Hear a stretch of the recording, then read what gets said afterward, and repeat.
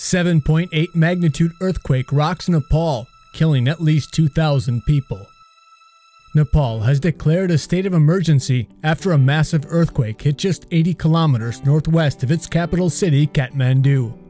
The earthquake, with its epicenter at Lamjung, Nepal, hit early Saturday afternoon and was followed by at least 15 aftershocks. The 7.8 magnitude quake was the result of a thrust fault between the India plate and the overriding Eurasia plate. The latest reports estimate the death toll to be more than 2,000. At least 4,700 have been reported injured. An estimated 1,000 people were on Mount Everest when the quake triggered an avalanche.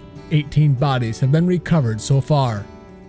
Among those killed in the avalanche on Everest was Google executive Dan Fredinburg,